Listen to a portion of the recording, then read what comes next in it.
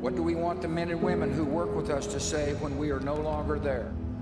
That we were more driven to succeed than anyone around us. Well, Dad, we're going to remember you for exactly that and much more. And we're going to miss you. Your decency, sincerity, and kind soul will stay with us forever.